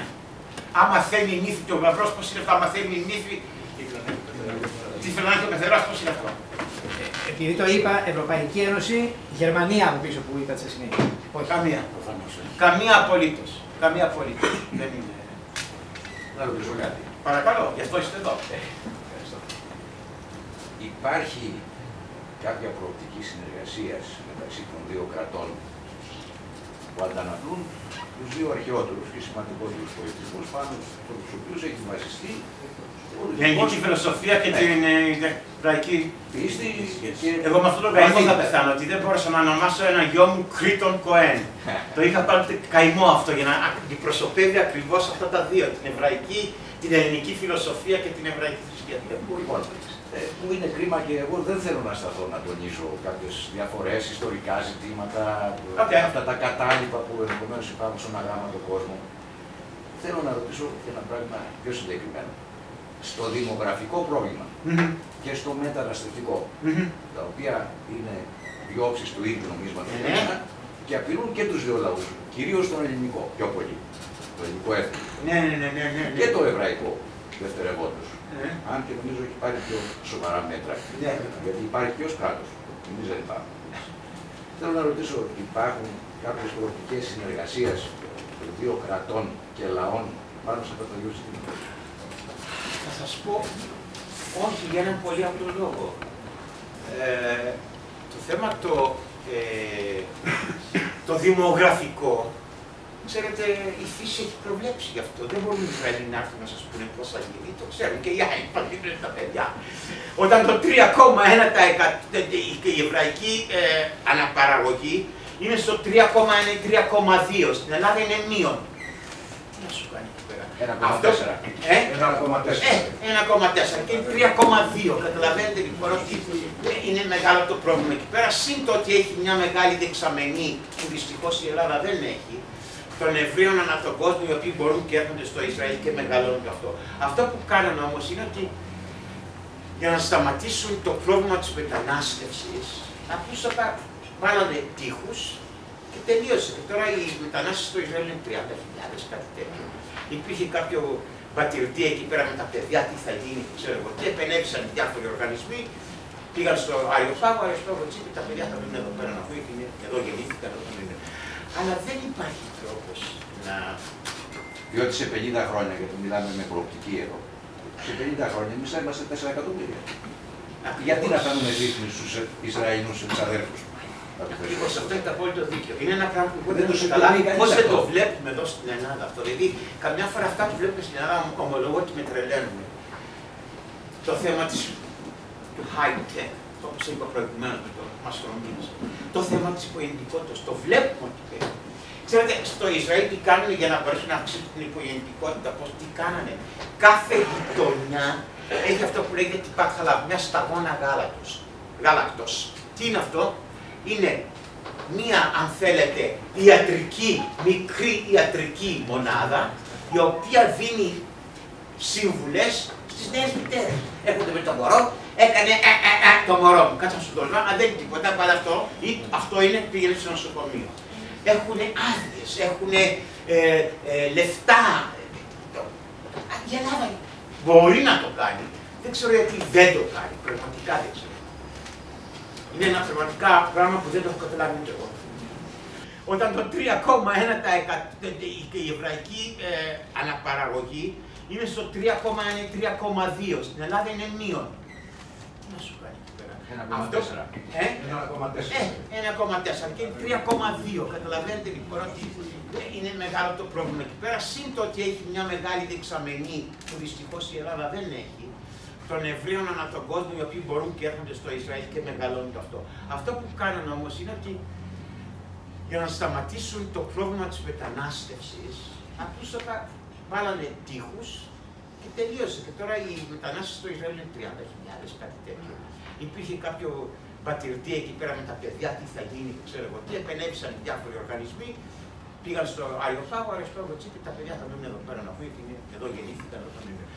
Αλλά δεν υπάρχει τρόπος να. Διότι σε 50 χρόνια, γιατί μιλάμε με προοπτική εδώ, σε 50 χρόνια εμείς θα είμαστε 4 εκατομμύρια. Γιατί να κάνουμε δείχνει στους Ισραηλινούς εξαδέρφους; Λοιπόν, αυτό είναι το απόλυτο δίκιο. Είναι ένα πράγμα που δεν το καταλάβει πώς δεν το βλέπουμε εδώ στην Ελλάδα αυτό. Δηλαδή, καμιά φορά αυτά που βλέπουμε στην Ελλάδα ομολογώ ότι με τρελαίνουν. Το θέμα της, του high tech, όπω είπα προηγουμένως με το αστρονομία, το θέμα της υπογεννητικότητας. Το βλέπουμε ότι παίζει. Ξέρετε, στο Ισραήλ τι κάνουν για να μπορέσουν να αυξήσουν την υπογεννητικότητα, πώ τι κάνανε. Κάθε γειτονιά έχει αυτό που λέγεται πατχαλά, μια σταγόνα γάλακτος. Τι είναι αυτό, είναι μία, αν θέλετε, ιατρική, μικρή ιατρική μονάδα, η οποία δίνει σύμβουλες στις νέες μητέρες. Έρχονται με το μωρό, έκανε ε, ε, ε, το μωρό μου, κάτσε στο τόλμα, αν δεν είναι τίποτα, πάρε αυτό, ή αυτό είναι, πήγαινε στο νοσοκομείο. Έχουν άδειες, έχουν ε, ε, λεφτά. Ναι. Ε, θα ήθελα να εστιάσω λίγο όσον αφορά τους λαούς. Εγώ είμαι κοτοπουλάκι τώρα βγήκα από αυτό, δεν έχω πολλές γνώσεις γύρω από πολιτική και από αυτά. Αλλά θα ήθελα να εκδηλώσω τη σκέψη μου. Ε, όταν ο λαός μισεί, μπορείς να ξέρει γιατί στην ουσία ή έχει κάποια οργή, έναν αντισημιτισμό. Αυτό συνήθως συμβαίνει από έλλειψη γνώσης. Δηλαδή, άμα το φως είναι στο σκοτάδι και δεν έχουν το φως. Αυτό είναι η γνώση. Οπότε, αν τους δώσεις γνώση, τότε θα σταματήσει να υπάρχει η οργή. Και θα κάνεις και μια γενική ευαισθητοποίηση στις του. Σκέφτηκα ότι ίσως θα μπορούσε να γίνει κάτι, ένα μουσείο το οποίο να μην λέγεται εβραϊκό ολοκαυτόνα, να λέγεται φύτα παγκοσμίως, ώστε να τους το περάσεις λίγο υπογείως, γιατί άμα τους το φέρεις στο πρόσωπο θα τη δράσει ο μύθο του ήδη έχει χτισμένο. Ε, και θα λέγεται εκεί β' παγκοσμίως και δεν βρει το μουσείο μέσα θα δείχνει ότι πέρασαν οι Εβραίοι στο ολοκαύτωμα. Οπότε με αυτόν τον τρόπο ευαισθητοποιεί τις πτυχέ των νέων παιδιών με το να το Υπουργείο Παιδείας να κάνει δηλαδή, από ό,τι κατάλαβα. εκδρομές. Ναι, ναι, ναι, ναι, ναι. Από ό,τι κατάλαβα αυτό που λες είναι που είσαι. Ε, ναι, κοιμόμαστε μαζί, έχουμε σχέση, να μην το βγάλεις και έξω, ότι είναι παντρεμένος αυτό θα μάθει την έκα μου. Καταρχήν έχεις δίκιο σε ένα πράγμα. Ένα 90% 90% της ευθύνης για το τι συμβαίνει σήμερα με το Ισραήλ, με τους Έλληνες και τους Εβραίους, οφείλεται στα μασικά μέσα ενημέρωσης. 90% είμαι μέρος αυτής της οργάνωσης των μέσων μαζικής ενημέρωσης, τα έχω ζήσει από κοντά. Ξέρετε ότι για να βγάλω τα πρώτα άρθρα μου σε ελληνική εφημερίδα, η ελευθεροτυπία, ο συγχωρεμένος Φιντανίδης τότε μου είπε πω, πω τι ανάγκηση είναι αυτή για τους ε, Παλαιστίνιους και τους Ισραηλινούς, αλλά δεν μπορώ να σε βάλω γιατί, γιατί λέγεσαι Κοέν. Ξέρεις ότι το Μέγα μη ήθελε να με στείλει στο, στο πρώτο πόλεμο του κόλπου και μου λέει ο αείμνηστος Αγαμέμνων, ο οποίος ήταν τότε ο αρτευτής ειδήσεων και παντρεμένος με εξαδέλφη μου. Ζαν, φεύγει αύριο για Τελαβίβ. Εντάξει, λέω τι θέλεις αυτό και αυτό, ναι, αλλά. Λέω ναι. Βέβαια δεν θα πεις ότι είσαι Ζαν Κοέν και τι θα πω, ρε Αγαμέμνων, Γιώργος Τσοροφλίδη ή Μπαρμπούτσο Ιωάννης. Μου λέει δεν χρειάζεται τίποτα να πεις, διότι δεν θα φαίνεσαι. Και, γιατί, ε, ρε Ζαν, γιατί ρωτάς, ε, ωραία, είσαι να πούμε τι, τι ρωτάς. Λοιπόν, αυτά είναι ελάχιστα τα παραδείγματα που έχω. Έχετε ακούσει ποτέ είδηση που να αφορά σήμερα ακόμα που μιλάμε το τι γίνεται στη Γάζα. Έχετε ακούσει ποτέ ότι για να επιτεθούν οι Ισραηλοί στους Γαζιώτες φάγανε 250 ρουκέτες σε ένα 24ωρο, 500 σε 4 μέρες; 400 σε 4, 500 σε 4 μέρες, 500 πώς ήταν. Δηλαδή, ανά 3 λεπτά τρώγαν ρουκέτα. Ακούσατε ποτέ αυτό το πράγμα; Όχι, τι ακούσατε; Ότι οι Ισραηλοί χτύπησαν τη Γάζα, οι Ισραηλοί σκότωσαν στη Γάζα, οι Ισραηλοί βομβάρδισαν στη Γάζα. Λες τα ξυπήσαν οι Ισραηλοί ξαφνικά μια μέρα και είπανε Γιούρια! Και όποιον πάρει ο χάρος. Λοιπόν, αυτός είναι ο λόγος που υπάρχει αυτή η κατάσταση. Τα μαζικά μέσα. Ορίστε. Συγγνώμη, κάποιος κύριος εδώ ήθελε. Χαίρομαι πολύ που γίνεται αυτή η συζήτηση γιατί αποδεικνύει ότι τελικά δεν υπάρχει παιδεία. Και παιδεία όχι επίθετη να διαβάσει 35 βιβλία, αλλά παιδεία μέσα από την οικογένειά σου να καταλάβεις τι είναι ο άνθρωπος και πώς μπορείς να αντιμετωπίσεις τον συνάνθρωπό σου πρώτα και μετά τον Εβραίο, τον έτσι, τον αλλιώ, τον οποιοδήποτε. Ένα είναι αυτό. Το δεύτερο είναι δυστυχώς το έθιξε ο κύριος προηγουμένως ότι σε λίγα χρόνια θα είμαστε μόνο 4 εκατομμύρια και τον άγνωστο στρατιώτη θα τον φυλάνε με, με τα λοιπά. Ευχαριστώ. Αυτό είναι αλήθεια και είναι πολύ, πάρα πολύ λυπηρό. Εγώ αν καταλάβω πώς δεν κάνουμε τίποτα αυτό. Παρακαλώ. Αν και με έχουν καλύψει σε ένα βαθμό εδώ, γιατί αργήσατε να μου δώσετε το λόγο, ε, θα έχω μία ερώτηση και δύο παρατηρήσεις. Ναι. Okay. Η ερώτηση είναι, ο κύριος Ιωνάθαν έθεσε ένα θέμα το οποίο δεν το θέσαμε. Εγώ από τα φοιτητικά μου χρόνια, ξέρετε ότι στην Ελλάδα κυκλοφορούν τα σενάρια. Για όλα αυτά είναι κάποιοι, κάποιες μυστικές οργανώσεις κτλ. Από τα πρωτόκολλα των σοφών κτλ. Ναι, από ναι, το ναι. πανεπιστήμιο τα ζω. Είμαι στο διαδίκτυο όπως είπε και βλέπω κάθε μέρα το τι γίνεται. Και καμιά φορά μπορεί να πατήσουμε και λάθος, έτσι. Λοιπόν, στα τόσα που βλέπουμε, ναι, ναι, ναι, γίνεται ένας χαμός. Σε αυτό το θέμα δεν έπρεπε να το αντιμετωπίσετε, διότι κάτι ανάλογο αντιμετωπίζουν οι Έλληνες εφοπλιστές, που τους βρίζουν όλοι, και διερωτώ με, δεν έπρεπε να ασκήσουν μια πολιτική, κάτι, να αλλάξουν αυτή την εικόνα, να πούνε κάποιες αλήθειες; Ποιοι, το ίδιο... Ποιοι να, να κάνουν να αλλάξουν.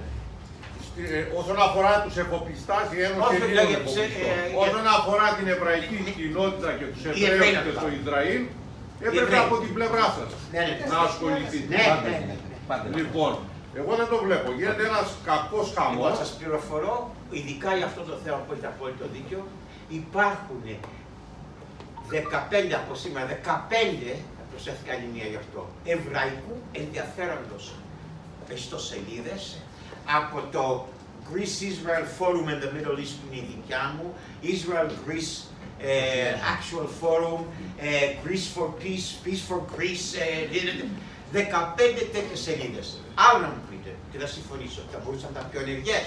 Ναι, αλλά μην ξεχνάτε ότι είναι όλες ε, από δικές μας ενέργειες, ο καθένα μόνος του. Δηλαδή δεν έχουμε κάποιον. Είναι ο καθένα μόνος Αυτό είναι. Για, εγώ θα προτιμούσα, αν πείτε Ιδρανική στο σελίδα και τα λοιπά, δεν θα πούνε. Θα σου το πω εγώ. Όχι, εμένα είναι Greece Israel Forum in the Middle East. Και πάλι, εφόσον μπαίνει μέσα η λέξη του Ισραήλ, θα έπρεπε να μπείτε με θέσεις ή, ή αναλύσεις σε άλλες ιστοσελίδες που διαβάζουν όλοι. Λοιπόν, δεν είναι πάντα. Αυτό, αυτό, είναι, αυτό είναι η άποψή μου. Όσον αφορά για τον άξονα Ισραήλ-Κύπρου-Ελλάδος, το έγραψα και κάπου να πούμε, λυπάμαι που θα χρησιμοποιήσω αυτή τη λέξη, είναι καταδικασμένο και το Ισραήλ να χρειάζεται αυτό τον άξονα. Δεν είναι ωραία η έκφραση, αλλά πρέπει να υπάρξει αυτός και για μας, όχι Ναι. για το Ισραήλ μόνο. Αυτή είναι η άποψή μου. Όσον αφορά τις δικές μου εμπειρίες, εγώ έζησα σε μια πόλη που είχε μια εβραϊκή κοινότητα. Είχαμε φιλικές σχέσεις με όλους τους Εβραίους, όλα τα ονόματα τα θυμάμαι, τα οποία τα κρατάω ακόμα και με φιλοξενούν όταν πάω στη Θεσσαλονίκη κτλ. Δεν είχαμε ποτέ πρόβλημα και η οικογένειά μου βοήθησε κάποιους την περίοδο του Δευτέρου Παγκοσμίου Πολέμου να επιβιώσουν και να διατηρήσουν κάποια περιουσιακά στοιχεία. Ε, δεν έχω καμία φορά έχετε δίκιο στο ότι θα, θα μπορούσε η εβραϊκή κοινότητα να κάνει περισσότερα. Ίσως θα μπορούσε, δεν υπάρχει καμία αμφιβολία. Πάντοτε μπορεί κάποιος να κάνει περισσότερα. Πάντως, αν λάβετε υπόψη σας ότι η πρώτη σελίδα που ξεκίνησε εβραϊκού ενδιαφέροντος ήταν το 2004, δεν υπήρχε καμία πουθενά σε όλο το διαδίκτυο. Ήταν η δική, δεν το λέω γιατί ήταν η δική μου, αλλά το 2004. Και μάλιστα διαβάσετε το πριν αυτό το, το εισαγωγικό σημείο της σελίδας, θα καταλάβετε γιατί έγινε το 2000. Δεν υπήρχε τίποτα. Και από το μεμονωμένο σήμερα έχουμε 15 σελίδες, ένα κανάλι YouTube που εξηγεί πολλά από τα, πώς το λένε, από το τι γίνεται στη Μέση Ανατολή. Οπότε, ναι, θα μπορούσε, βεβαίως και θα μπορούσε. Θα μπορούσε να είχαμε, είχαν πολύ περισσότερα. Αν είχαμε χρήματα να το κάνουμε από την εβραϊκή κοινότητα, παραδείγματος χάρη, βεβαίως θα μπορούσαμε. Θα μπορούσαμε να είχαμε προσλάβει και δύο-τρία άτομα που ξέρουν καλά τα μέσα, γιατί εμείς είμαστε. Εγώ τουλάχιστον είμαι και παππούς με την έννοια ότι δεν είμαι και ο μεγαλύτερος, πώς το λένε, ε, τεχνικ. Βεβαίως και θα μπορούσαμε, βεβαίως. Αλλά αυτό, τόσο μπορούμε, τόσο κάνουμε. Παρακαλώ. Πετε μου, σας παρακαλώ, τα ελληνικά ιδρύματα στο Ισραήλ. Τα, τα. Τα ενορθόδοξα, να το πω σωστά, ιδρύματα που είναι στο Ισραήλ. Αναφέρομαι στα. Αγιοταφική αδερφότητα. Ναι, ναι, ναι. Το Πατριαρχείο και στον Ε. Παναγιώτα κτλ. Ποια είναι η επίδρασή τους στις σχέσεις για την βελτίωση, ποιες αρνητικές Ε, διαδικασίες. κοιτάξτε, θα έλεγα το εξής. Κάθε φορά που ε, έχω έρθει σε επαφή με, τους, και με τον Ειρηναίο τώρα και μετά με, το, με τον αυτόν που είναι τώρα, ε, με τους πατριάρχες, οι πατριάρχες έχουν ένα πάρα πολύ δύσκολο ρόλο. Δηλαδή, πιστέψτε με, δεν εύχομαι σε κανέναν να ήταν στα παπούτσια των πατριαρχών της Ιερουσαλήμ. Σκεφτείτε το λίγο. Είναι υπο-Ισραηλινή διοίκηση με πύμνο αραβικό. Ό,τι και να κάνεις, την έχεις βαμμένη. Είναι πιο πολύ, αν θέλετε, θέμα ε, διπλωματικό παρά θρησκευτικό αυτό το κόσμο. Δυστυχώς. Ε, τώρα, το αν είναι... Ε, εγώ πιστεύω ότι μπορεί να κάνει πολλά για έναν πολύ απλό λόγο. Ότι το Πατριαρχείο και το Ισραήλ, όσο και αν φανεί περίεργο, έχουν τα ίδια συμφέροντα. το, το Πατριαρχείο το ελληνικό, μην ξεχνάτε, είναι το μοναδικό Πατριαρχείο στην Ιερουσαλήμ, όπου βρίσκονται όλα τα Πατριαρχεία όλων των θρησκειών, βρίσκονται εκεί πέρα κάπου 35-40, με τι υποδιαιρέσει του Αρμένοι, οι κόπτε, αυτό εκείνο. Που δεν είναι σε αραβικά χέρια. Και επίσης είναι το μοναδικό πατριαρχείο το οποίο μετά το κράτος του Ισραήλ είναι ο μεγαλύτερος ιδιοκτήτης γης μέσα στο Ισραήλ. Και την Κνέσετ νομίζω.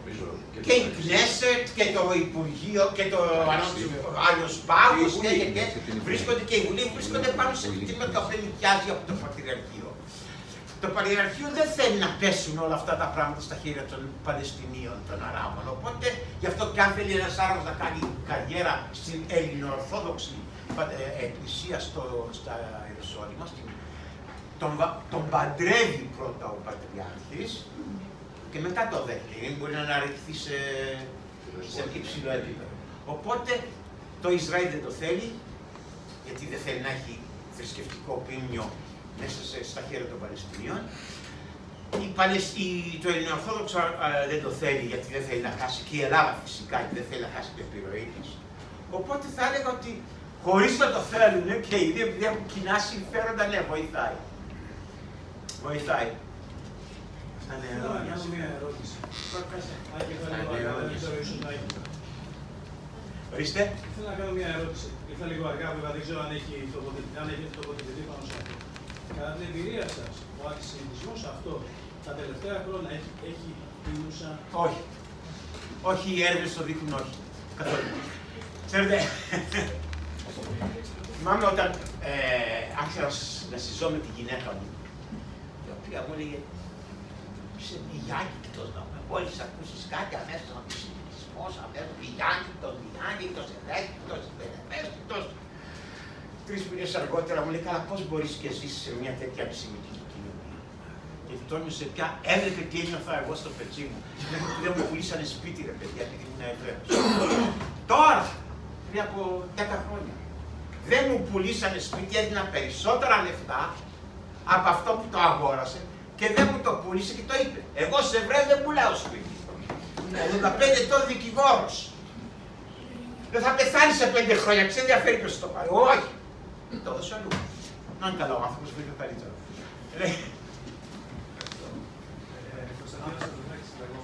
Ναι. Ε, πολύ σύντομα τηλεγραφικά, τρία μεθοδολογικά, τρία μεθοδολογικά ζητήματα. Παρακαλώ.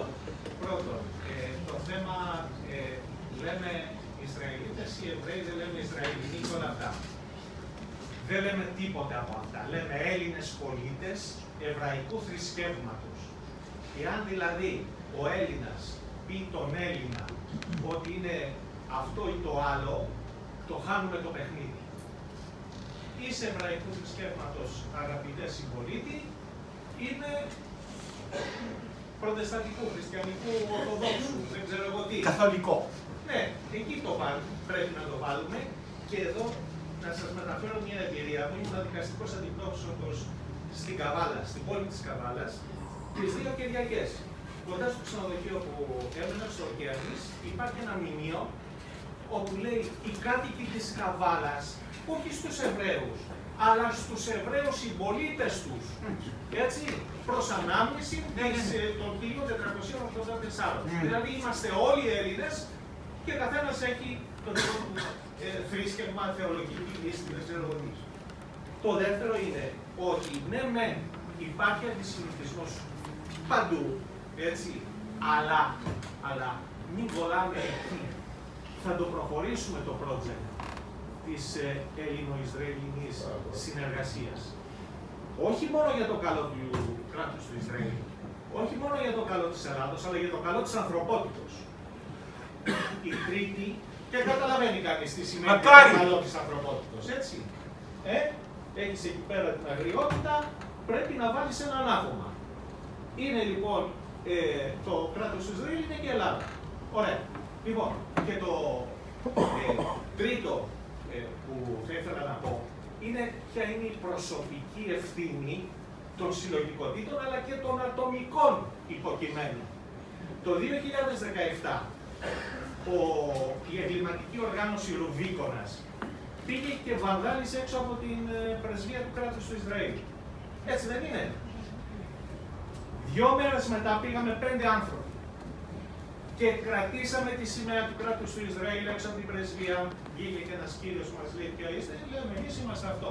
Λέω, «Ο άνθρωπος το-».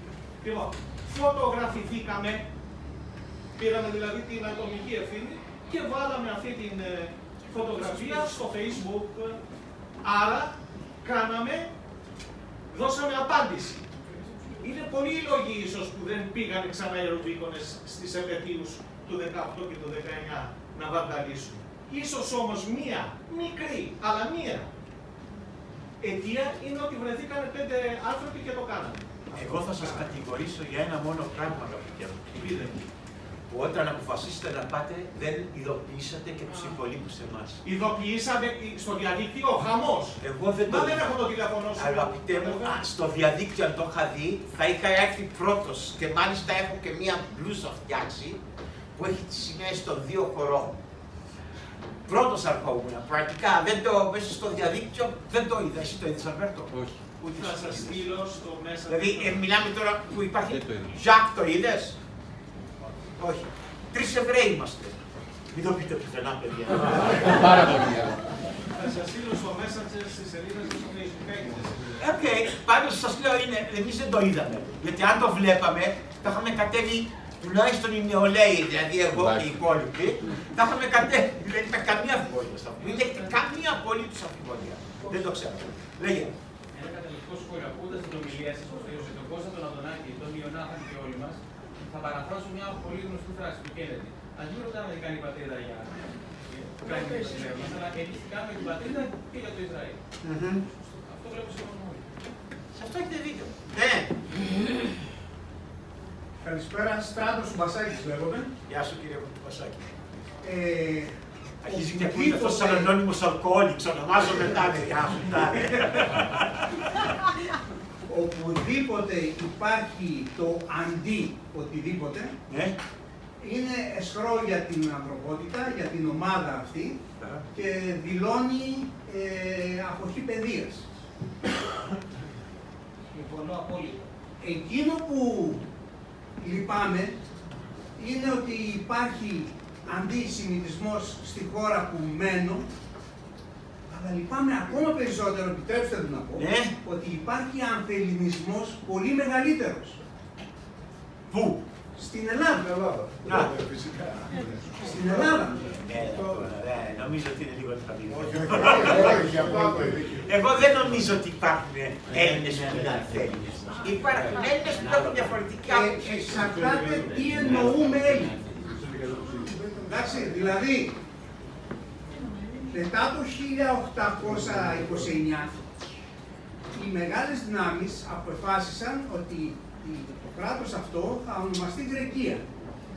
Εδώ κάποιοι είπαμε ότι θα γίνει ελληνικό κράτος. Έλλην σημαίνει όμεμον, ομόθρηστον, ομόγλωσσο. Στην Ελλάδα ούτε τη γλώσσα έχουμε, ούτε το αίμα περνιέται και σαφώς σαν θρησκεία η ελληνική δεν είναι αποδεκτή. Εγώ θέλω μόνο να, να πω κάτι στον κύριο Σημαία. Ξέρετε, αυτό που είπατε ότι οι Εβραίοι δεν είναι Έλληνες Εβραίοι το θρήσκευμα. Εγώ έκανα εδώ πέρα στο. Εγώ έκανα δύο χρόνια στο κλινική στρατό. Σας πληροφορώ ότι από την ημέρα που μπήκα στο στρατό μέχρι σήμερα, εμένα μου λένε εσείς την πατρίδα σου. Δεν θα βγει αυτό αγαπητέ. Ό,τι και να κάνεις δεν βγαίνει. Είναι βαθιά ριζωμένο. Μπορεί δύο γενιές από σήμερα. Αλλά να το ξέρετε αυτό το πράγμα. Εσύ και η πατρίδα σου. Εσύ με επαναγκάστηκα να βρω έναν τρόπο για να μπορώ να ξεχωρίσω τι διάλογο γίνεται. Θα έχω και εγώ μια απάντηση. Ακούω. Ένα μια ερώτηση. Αυτή είναι η δεύτερη. Δεύτερη, ναι. Α, μπράβο. Και οι δύο λαοί. Πάμε Δευτέρα. Ναι, έχουν πολύ Εβραίοι, μεγάλο να ξέρουμε δέσιμο. όμως. Έχουν πολύ μεγάλο ένα κοινό και οι δύο λαοί. Το δέσιμο με τη θρησκεία. καλά, αυτό ελκύζεσαι. Θέλω να πάω σε άλλο κομμάτι. Θέλω να πάω σε άλλο κομμάτι. Εσείς έχετε και το κόσερ. Το, ε- το ευρωπαϊκό λοιπόν, έχει και το κόσερ. Που όποιος το γνωρίζει λόγω της διατροφής είναι μια θρησκευτικό... Λοιπόν, πιστεύετε ότι αυτό τρο- μπορεί να αποτελέσει τροχοπέδη σε αυτό το πράγμα. Ποιο; Το, Το ο kosher τρόπος food. διατροφής αυτός να ενταχθεί και να γίνει ένα σε μια άλλη. Το γνωρίζουμε πολύ καλά. Εσύ το γνωρίζεις και είμαι σίγουρο ότι εδώ πέρα κανείς δεν το γνωρίζει και μόνο οι τρεις Εβραίοι που είμαστε το γνωρίζουν. Το, το κόσιο είναι ένα. Υπάρχουν ορισμένοι νόμοι, κανόνες διατροφή στην εβραϊκή θρησκεία.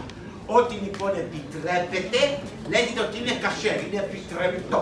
Τι είναι αυτό, παράδειγμα, άμα βάλεις μπριζόλα στη, στα κάρβουνα, αν είμαι στο Ισραήλ δεν μπορώ να φάω ποτέ μπριζόλα όπως θέλω, γιατί; Διότι πρέπει να είναι καλά ψημένη. Εγώ θέλω να βλέπω το αίμα και να σκέπτομαι τη γυναίκα μου.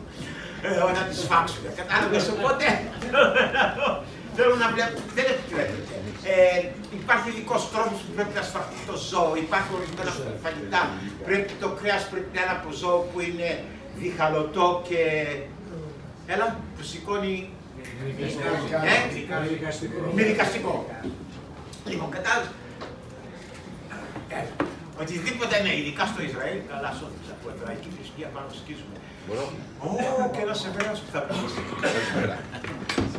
Καλησπέρα. Θυμόσαστε το... Είναι, είναι Εβραίος και αδελφός Αχέπα. Όχι αδελφή, αδελφός. Τι είπε ότι είσαι αδελφή, ε, αδελφός Αχέπα. Θυμόσαστε το παιδί που σκότωσε ο αστυνομικός, τον Αλέξη; Ναι. Τον Εξεργορόπουλο. Ναι, ναι. Αν ο αστυνομικός ήταν Εβραίος. Ούτε ψήλος στον κόσμο. Θα τον είχαν λιτσάρει επί τόπου. Ούτε ψήλος στον κόσμο. Όλους. Ναι, ναι. Έχουμε Ε, Εβραίους αστυνομικούς. Έχεις απόλυτο. Ξεκινάμε από αυτό. Έχουμε Εβραίους αστυνομικούς. Όχι, σιγά μην παρέμεινε αστυνομικός αυτό ο Εβραίος τώρα. Δεν νομίζω. Γιατί να έχει. Άρα, επειδή, Συγγνώμη που δεν καταλάβατε. επειδή ζούμε... Μέχρι πριν από λίγα χρόνια, συγγνώμη, Αλβερτό, να Ναι, κάνω όχι. μια, μια παρένθεση. Μέχρι πριν από λίγα χρόνια, Εβραίος δεν μπορούσε να γίνει αστυνομικός, δεν μπορούσε να γίνει Τώρα δεν πυροσβέστη, ισχύει δεν αυτό. μπορούσε να γίνει Δημόσιος. δημόσιος ε, ε, ε, Λειτουργός. διαγωγός. Λειτουργός. Δεν ισχύει. Είπα μέχρι πριν από λίγα χρόνια, γιατί δεν ακούτε τα πολλά. Δεν είμαι προκατελημένος, Όχι, δεν ξέρετε, είμαι όσο γιατί- πιο δίκαιος μπορώ. Επειδή έχετε μια μεγάλη πορεία κατά πίεση, που το καταλαβαίνω και το προτείνω. Στις καινούργιες γενιές που ζουν σε, καινούργιο, σε νέο περιβάλλον. Δεν είναι καταπίεση, είναι άμυνα. Όχι, έχετε καταπιεστεί. Εγώ θεωρώ ότι. Αυτό το παίρνω ακόμα και τη. Έχετε περάσει δύσκολες. Έχετε περάσει δύσκολες. Σας λέω, Είστε στο Κιλκής, δεν είστε στο 2020 στην Αθήνα ή στο Κιλκής. Ποια είναι η στους λύση; στρατηγούς. Θα έπρεπε λύσεις, σχολεία, παιδεία, εκκλησία να βοηθήσουν όλοι να μάθει ο κόσμος να μην δα- δακτυλοδείχνει οποιονδήποτε αλότιστο. Οποιονδήποτε.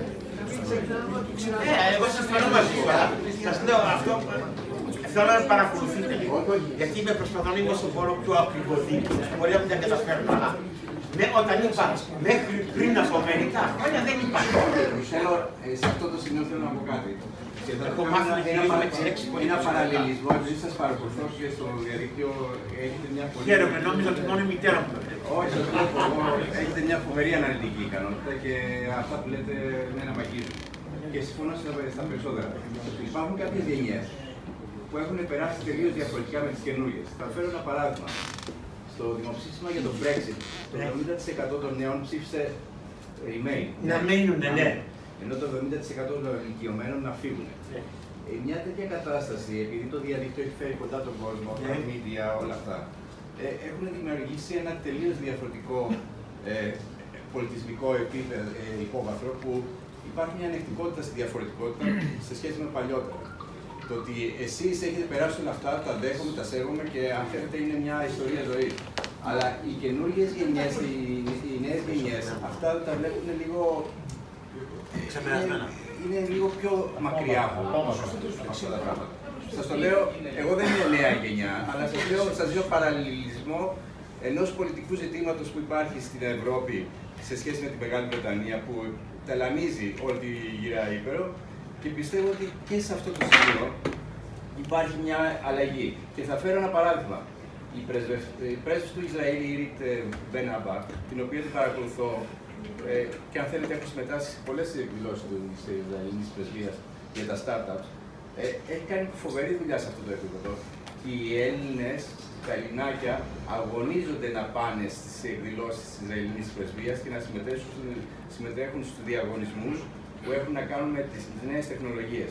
Γιατί βλέπουν το Ισραήλ μια χώρα παράδειγμα, βλέπουν στο Ισραήλ ότι μπορούν να, να δώσουν και να πάρουν, βλέπουν εδώ πέρα ότι ε, η, Ισρα... η, η, η Ισραηλινή πρεσβευτής κάνει σοβαρή δουλειά και σας λέω ακόμα και σε συνοικίες όπως η, στην Ελευσίνα, ας το πούμε, πηγαίνει η Ισραηλινή πρεσβευτής και κάνει δουλειά σε τέτοιες συνοικίες. Μπορεί αυτό να μην είναι, αυτό, ας το πούμε ακόμα, στα πρωτοσέλιδα, αλλά σιγά σιγά αλλάζει, ειδικά στις νέες, γε- νεότερες γενιές. Εγώ δεν διαφωνώ μαζί σας, αλλά ε, απλώς είναι αυτό που θα, θα, θα, θα, συμφω- πάνω θα διαφωνώ, συμφωνήσω στο θέμα του, αυτό που είπε την τελευταία φράση. Μπορεί να μην είναι ακόμα στα πρωτοσέλιδα. Δεν θα είναι δυστυχώς ποτέ. Ο τύπος στην Ελλάδα, τα, τα, τα, κυρίαρχα, τα κυρίαρχα μέσα της Ελλάδας, δεν ξέρω γιατί, έχουν έναν τρομερό, τρομερό αντι-Ισραηλισμό και αντι-Εβραϊσμό. Δεν ξέρω γιατί. Και φανταστείτε, δεν υπάρχει ούτε ένας Εβραίος που. Α, όχι, υπάρχει ένας ο οποίος διευθύνει ένα πρόγραμμα στο Star.